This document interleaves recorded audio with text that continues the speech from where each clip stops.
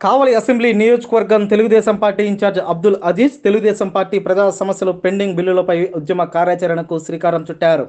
గత ప్రభుత్వంలో గ్రామాలలో అభివృద్ధి కార్యక్రమాలు చేపట్టిన కార్యకర్తల కాంట్రాక్ట్ బిల్లులను ఆపివేసిన క్రమంలో ప్రభుత్వంపై పోరాడానికి సిద్ధమవుతున్నారు.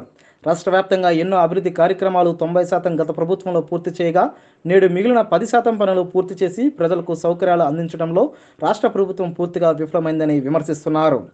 వివరాల్లోకి వెళితే నెల్లూరు జిల్లా కావలి అసెంబ్లీ నియోజకవర్గ తెలుగుదేశం పార్టీ ఇన్ఛార్జ్ అబ్దుల్ అజీజ్ పలు ప్రజా సమస్యల పరిష్కారంపై రెవెన్యూ డివిజనల్ అధికారికి వినతిపత్రం సమర్పించారు. ఈ సందర్భంగా అబ్దుల్ అజీజ్ పాత్రికేయులతో మాట్లాడారు. ఈ కార్యక్రమంలో తెలుగుదేశం పార్టీ నాయకులు కార్యకర్తలు తదితరులు పాల్గొన్నారు. తర్వాత ఇప్పుడు మీరు స్పెషల్ ఆఫీసర్ కాబట్టి మున్సిపాలిటీకి తర్వాత వచ్చి ఎస్టీపీ అది అప్పుడులోనే నైంటీ పర్సెంట్ కంప్లీట్ అయింది. స్టిల్ దాని జోలికి ఎవరు పోలే. పది పర్సెంట్ పెండింగ్ ఉన్నా. అంటే నైంటీ పర్సెంట్ అయిపోయింది. ఇక్కడ నుంచి దాదాపు పది పదిహేను ప్రపోజల్స్ పంపిస్తూనే ఉన్నాను కలెక్టర్కి. హ్యాపీగా కలెక్టర్ గారు కూడా స్పెషల్ డ్రైవ్ పెట్టేసి చేస్తున్నాం చేస్తున్నారు. అదే మా నెల్లూరులో కానీ ఒకటి రెండు చేసినట్టున్నారు ఇక్కడ ఇక్కడ వందల మంది ఉన్నాయి. ఎవరైతే అప్లై చేసుకుని ఉంటారో జియో ప్రకారంగా దాన్ని బట్టి వాళ్ళ డాక్యుమెంట్స్ అన్ని కూడా ప్రొసీజర్ ఉంది. ట్వెల్వ్ ఇయర్స్ ఎంజాయ్మెంట్ అందరికి నమస్కారం. ఈరోజు ఆంధ్ర రాష్ట్రం మొత్తం తెలుగుదేశం పార్టీ నాయకులు కార్యకర్తలు అందరు కానీ వారి వారి నియోజకవర్గాల్లో వారి వారి మండలాల్లో ఈ ఎన్ఆర్ఈజిఎస్ పెండింగ్ బిల్స్ గురించి ఈరోజు పోరాడడం జరుగుతూ ఉంది. ఈ ఎన్ఆర్ఈజిఎస్ రెండు వేల పంతొమ్మిదికి ముందు చేసిన డబ్బులు కానీ ఈ రోజు దాకా జగన్మోహన్ రెడ్డి గారు ప్రభుత్వం ఇవ్వలేదు. ఈరోజు రాష్ట్ర మన రాష్ట్రంలో ఉండే హైకోర్టు అతి ఉన్నతమైన న్యాయస్థానం. ఇప్పటికి రెండు సార్లు చివాట్లు పెట్టింది. పోయినసారి ఏప్రిల్లోనూ ఇచ్చేస్తామని చెప్పారు.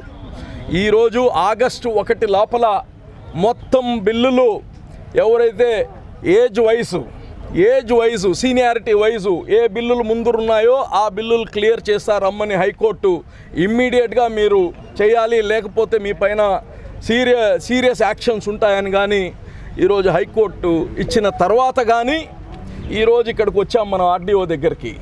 ఏం చేశారు? మీరేమైనా సిఎఫ్ఎంఎస్కి డబ్బులు విడుదల చేయమని డైరెక్షన్స్ ఇచ్చారా అని కనుక్కుంటే ఇప్పుడు దాకా వీళ్ళకి ఎటువంటి సమాచారమే లేదు. ఒక చర్య కానీ తీసుకోలేదు. మేము అడుగుతున్నామండి ఇదేమైనా జగన్మోహన్ రెడ్డి గారు మొత్తం వాళ్ళు డబ్బులు ఇస్తున్నారా? డెబ్బై ఐదు మెటీరియల్ కాంపోనెంట్ కింద డెబ్బై ఐదు శాతం సెంట్రల్ గవర్నమెంట్ డబ్బులు ఇరవై ఐదు శాతం స్టేట్ గవర్నమెంట్ డబ్బులు. మనం ఈ రెండు వేల పంతొమ్మిది నుంచి ఇప్పుడు దాకా చూస్తే సెంట్రల్ గవర్నమెంటు నాలుగు వేల ఐదు వందల తొంభై నాలుగు కోట్ల రూపాయలు రిలీజ్ చేసి కానీ సంవత్సరం పైన అవుతుంది. రెండు దఫాలుగా రిలీజ్ చేసింది. దానికి జగన్మోహన్ రెడ్డి గారు పదిహేను వందల ముప్పై కోట్లు యాడ్ చేసి మొత్తం ఆరు వేల నూట ఇరవై ఐదు కోట్లు ఇవ్వాల్సిన పరిస్థితి. అయితే ఈరోజు మేము అడుగుతున్నాం ఆ నిధులు ఏమయ్యాయి? సెంట్రల్ గవర్నమెంట్ ఇచ్చిన నిధులు ఎక్కడ వాడేశారు? ఆ నిధులు ఎవరి గ్రామం అభివృద్ధి జరగద్దని చెప్పి గ్రామంలో సిమెంట్ సీసీ రోడ్లు వేసిన వాళ్ళు శ్మశానానికి గోడలు కట్టిన వాళ్ళు పంచాయతీ బిల్డింగ్స్ కట్టిన ఈరోజు అనేక పనులు గ్రామ అభివృద్ధి కోసం చేసిన వాళ్ళు వాళ్ళకి ఈరోజు మీరు శిక్షిస్తారా? రెండు సంవత్సరాలైనా ఇవ్వరా? కేంద్ర ప్రభుత్వం నిధులు రిలీజ్ చేసినా కానీ మీరు మీ స్వలాభానికి వాడేసుకుంటారా డబ్బులు? ఈరోజు ఈ రాష్ట్రం మొత్తంలో రెండు వేల పంతొమ్మిదికి ముందు పనిచేసిన వాళ్ళకి రెండు వేల ఐదు వందల కోట్ల బకాయిలు ఉన్నాయి. ఈయన వచ్చి ఈయన హయాంలో అంటే రెండు వేల పంతొమ్మిది జూన్ తర్వాత పనిచేసిన వాళ్ళకి ఇచ్చుకుంటున్నాడు. ఇది ఎక్కడి న్యాయం అండి? ఏంది? పని చేసిన వాళ్ళకి కానీ పార్టీలు ఉంటాయా? ఈరోజు యాభై ఐదు మంది ఆత్మహత్యలు చేసుకున్నారు ఈ డబ్బులు రాక అప్పులు చేసి స్థలాలు భూములు అమ్ముకున్న వాళ్ళు. ఇది ఎక్కడి న్యాయం? ఇట్టేనా? కసి తీర్చుకోవాల్సింది. కసి తీర్చుకోవాల్సింది ముఖ్యమంత్రి.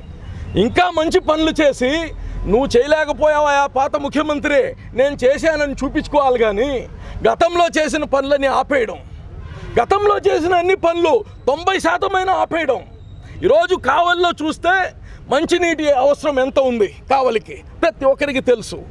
ఒక మంచినీటి స్కీము ఒక ఎస్టీపీ వేస్ట్ వాటర్ ట్రీట్మెంటు రెండిటికి తెస్తే తొంభై శాతం పూర్తి అయిపోయింది. ఇప్పుడు కానీ రెండు సంవత్సరాలు దాని జోలికి పోలేదు. ఇల్లులు కట్టాము పేదోళ్ళకి దానికి ఇచ్చే పరిస్థితి లేదు. ఎంత పాపం మూట కట్టుకుంటుంది ఈ ప్రభుత్వం. మేము కోరేది ఒకటే. రాష్ట్ర కేంద్ర ప్రభుత్వం రిలీజ్ చేసిన నాలుగు వేల ఐదు వందల తొంభై నాలుగు కోట్లు ఎవరు తిన్నట్టు ఎక్కడ వాడినట్టు ఇక్కడేమో పేదోళ్ళకు మీరు బాధపడుతున్నారు. అక్కడేమో డబ్బులు కేంద్రం రిలీజ్ చేసింది. మేము ఒకటే కోరుతున్నాం.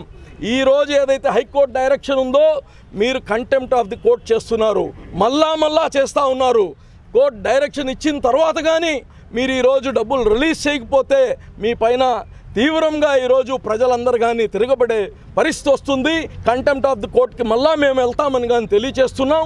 మేము కోరేది ఒకటే ఏ ప్రభుత్వం అయినా కానీ పనులు చేసినప్పుడు విజిలెన్స్ చేయడం దానిపైన ఎంక్వైరీ వేయడం ఇది సహజమే.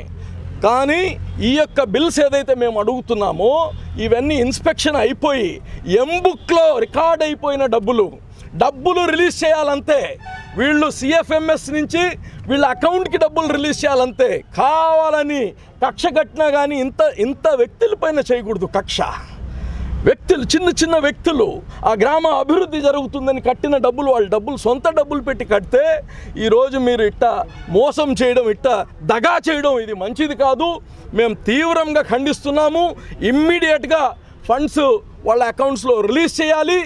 రెండు ఎన్ఆర్ఈజిఎస్ రూల్ ప్రకారం టూ థౌజండ్ సిక్స్ అమెండ్మెంట్ ప్రకారం పదిహేను రోజుల తర్వాత కేంద్రం రిలీజ్ చేసిన డబ్బులు పదిహేను రోజుల తర్వాత బెనిఫిషరీస్కి వెళ్ళకపోతే కాంట్రాక్టర్స్కి వెళ్ళకపోతే లేట్ అయిన దానికి ట్వెల్వ్ పర్సెంట్ ఇంట్రెస్ట్ కట్టి రాష్ట్ర ప్రభుత్వం దాన్ని కట్టాలని కానీ మేము డిమాండ్ చేస్తూ ఉన్నాం.